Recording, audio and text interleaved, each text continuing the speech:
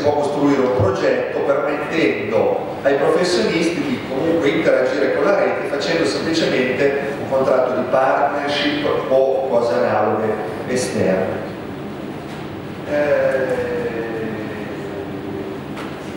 allora, sì, due parole sulla pubblica amministrazione. Allora, chiaramente l'ente pubblico tradizionale, a parte che ci sono altri strumenti, non può fare rete. Tuttavia, le società privatistiche di emanazione pubblica o a capitale maggioritario pubblico lo possono fare.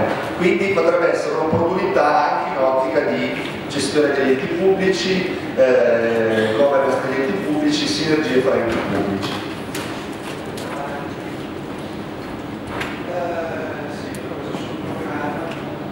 Allora, sul programma di rete, chiaramente i diritti e gli obblighi delle parti, mh, eh, un aspetto importante è quello di trovare un modo per indicare la modalità di, dire, di misurazione del raggiungimento degli obiettivi. Allora nel programma noi ci siamo dati degli obiettivi da raggiungere che devono essere nell'ottica fondamentale, finale dell'innalzamento della capacità competitiva però il legislatore dice, la legge dice, tu mi devi anche dare un criterio nel contratto per poter misurare il raggiungimento, l'avvicinamento a questi obiettivi e in qualche maniera lo devi, come dire, poter dimostrare. Voi mi direte, ma perché hai messo questa cosa qua? Ebbene, no, questa è una bella domanda. Eh, ci sono diverse, diverse teorie riguardo. Ad ogni modo sappiate che c'è questa cosa qua che è un elemento importante, obbligatorio.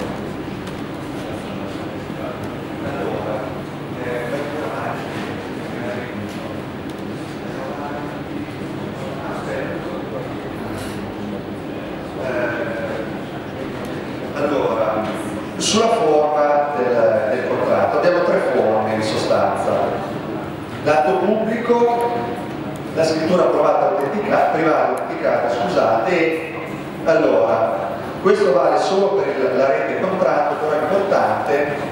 Allora, la procedura telematica di registrazione senza passare dal notaio solo per il caso della rete contratto, però è molto importante perché chiaramente ci sono degli abbattimenti di costi, ma soprattutto, come aveva accennato anche qualche altro relatore, permette di fare le modifiche o le integrazioni del contratto, esempio classico, entra un nuovo registro, si fa anche, si cambia il contratto, si mette qualche clausola diversa e si fa di nuovo telematicamente, quindi senza dover passare dal notaio. E può essere una cosa molto, molto pratica, molto utile.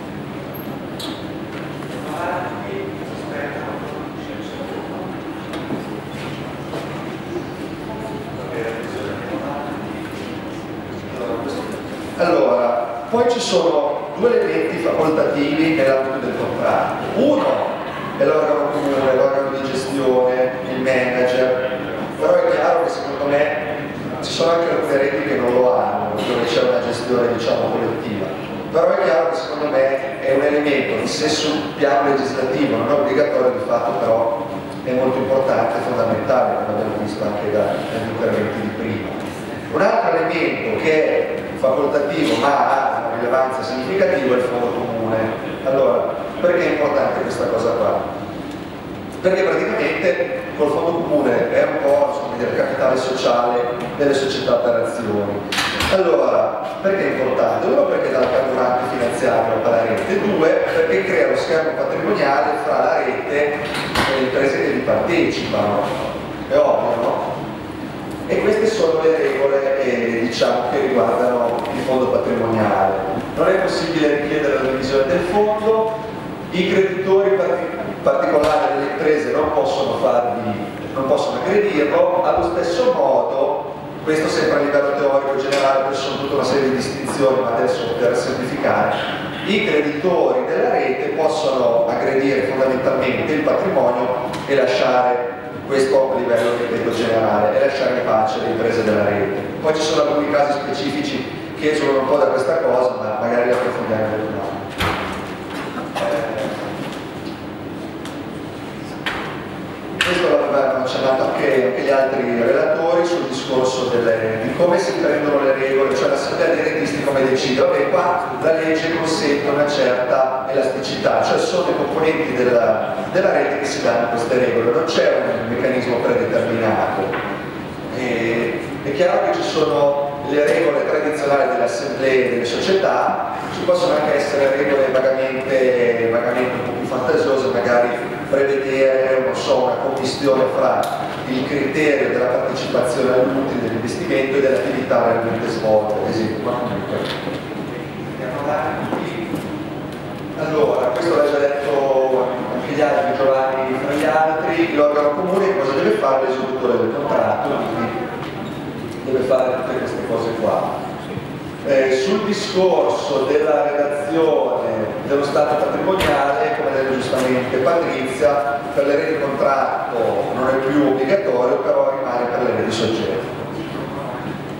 Ecco, questa è una distinzione importante sulla, sulle due tipologie di rete, c'è la rete contratto che sostanzialmente facendo un paragone diciamo molto semplice è paragonabile a un condominio, quindi c'è il gruppo dei condomini che sono le imprese e poi c'è l'amministratore di condominio che è il, il, manager di rete, però sostanzialmente il condominio non ha una sua personalità giuridica, ci sono solo i condomini.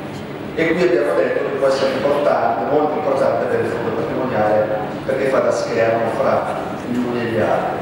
La rete soggetto è una società a tutti gli effetti, ha una sua chiamiamola personalità giuridica, eccetera, eccetera. Quindi è, come ha detto giustamente Patrizia, soggetta ad obblighi fiscali, tributari, eccetera, eccetera.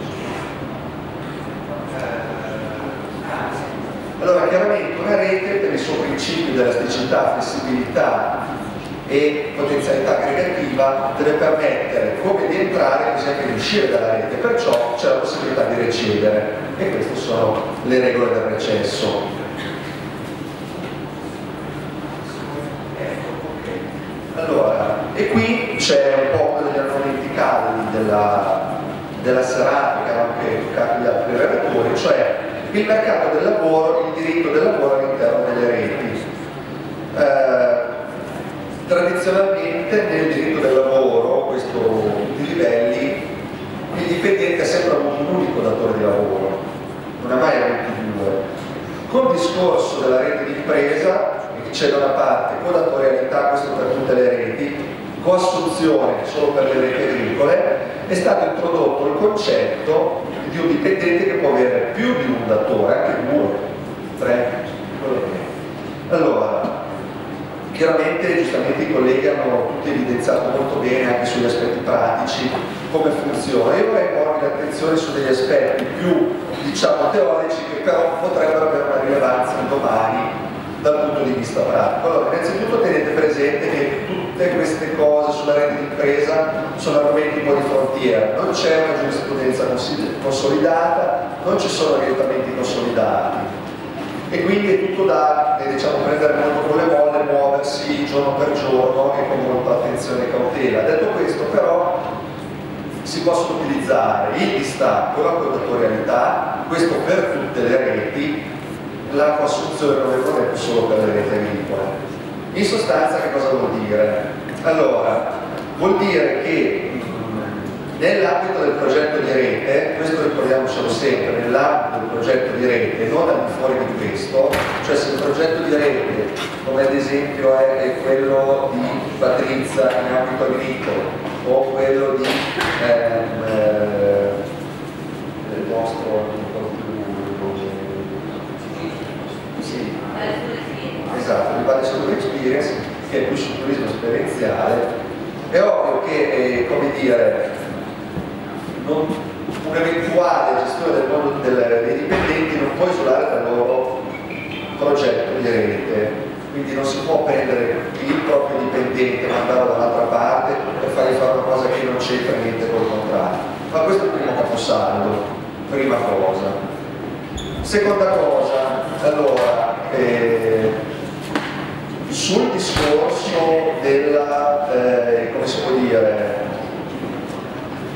della prevenzione, un altro aspetto che può essere molto importante è quello, come ha detto anche giustamente Patrizia, di interfacciarsi con gli enti. Quindi cosa possiamo fare? Andiamo dalla DTE, la direzione territoriale del lavoro, certifichiamo il contratto di lavoro di quel soggetto che vogliamo utilizzare all'interno della nostra rete, di modo tale che se nel confronto con l'ente ci scopriamo tutta una serie di eventuali problematiche domani o comunque ce ne vogliono tante.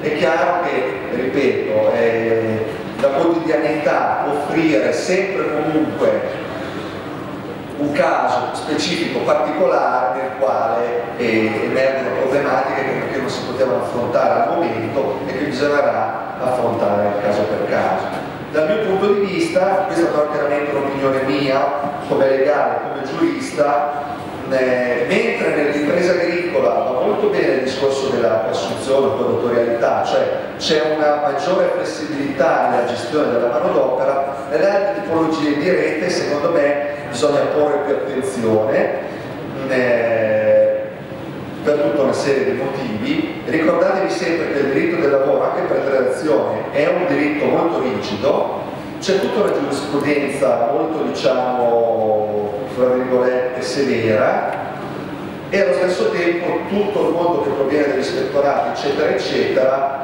eh, ha comunque sempre una visione un po', oscura delle cose. Quindi muoviamoci con molta cautela e mi sono perso devo... no, no, e... ve lo dico dopo adesso lo prendo dopo. Vai allora per chiudere quindi vabbè questi sono altri elementi però sono abbastanza intuitivi sulla, sul discorso del, del, contratto di rete che chiaramente il nome, la denominazione, l'indicazione, la sede, eccetera. Allora, tornando un attimo al discorso del diritto del lavoro, tenete presente un aspetto eh, che è molto importante. Il progetto deve essere collegato all'oggetto sociale delle imprese, per i motivi che dicevamo prima. Allo stesso modo anche chiaramente quello che riguarda le attività dei dipendenti, cioè nel senso che tutto ciò che noi facciamo all'interno della rete deve essere genuino e reale. Se noi andiamo a fare anche sulla gestione dei dipendenti qualcosa di non genuino, potrebbe dare adito a contestazioni. Cioè tradotto, noi dobbiamo utilizzare la rete innanzitutto per il progetto. Se nel progetto c'è utilizzare i dipendenti in determinata maniera, anche disciplinare dopo, va bene, non sforziamo però troppo il progetto di rete, cioè va benissimo il discorso che fanno potenza di tutto, però troppo sul lato della gestione dei dipendenti, proprio per evitare questo aspetto. E... No, in che senso? Esatto, esatto, sì, esatto, esatto, esatto, sì, sì, sì.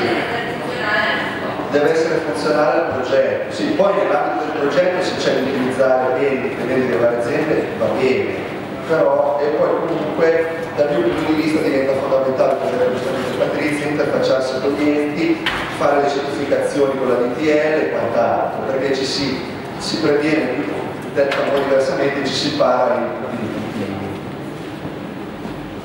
Questo eh, non so se avete domande eccetera. Sì, no perché giustamente detta così abbiamo un po' di tempo vaga, sì in effetti. Allora la, coassunzione significa proprio nelle imprese agricole che cioè, tutte le aziende assumono quel, quel, quel lavoratore, quel dipendente. Proprio è come dire, detta un po' brutalmente, se fosse diviso cioè uno della tua azienda c'è un braccio, l'altro però va bene. Invece la codatorialità è un po' un concetto diverso ed è in questo senso. Significa che, ti faccio un esempio, facciamo che ci sia un gruppo di imprese in ambito edile, ok? Vanno sul cantiere, devono fare una casa, quindi ci sarà quello che fa lo scavo, l'impresa che fa lo scavo, ci sarà quello che tira sui muri, l'impresa di carpenteria, quello che fa gli infissi, quello che fa gli interni, il pavimentista, eccetera, eccetera, ok? Benissimo e qui ci sono ogni impresa e i suoi dipendenti. La collateralità significa che il datore di lavoro, per dire di quello che fa lo scavo, l'impresa lo spista, può dare direttive anche agli altri, ok? Che non sono suoi dipendenti, però sono del progetto di rete. E quella è la differenza. Invece il distacco è quando, come ha detto giustamente Patrizia, io che sono ruspista ti mando a te che sei pavimentista un mio dipendente, è un po' differente, perché tante, in alcuni progetti di rete diverse imprese si possono trovare ad operare sullo stesso scenario, sullo stesso luogo. E possono essere, come noi tutti qua siamo adesso, tante imprese si trovano allo stesso posto. E magari c'è solo un datore di lavoro che dà direttiva che normalmente uno dice io rispetto le direttive solo il mio datore, tu cosa vuoi? Mica sei datore, no? Questa è un po' la differenza tra distacco conduttori, questo a livello divulgativo, poi bisogna vedere i singoli, però insomma, per capirci, questa è un po' la differenza. Grazie Alessandro. Eh, se qualcuno ha delle domande sul contratto di rete, eh, i delegati e il presidente di sono ancora qui, quindi anche diciamo, individualmente possono confrontarsi con Alessandro, Eugenio, Patrizia e Giovanni. Eh, introdurrei a questo punto, se, avete, se i nostri relatori non hanno altro da aggiungere diciamo, rispetto a quanto eh, indicato, ribadisco che le loro slide saranno eh, pubbliche.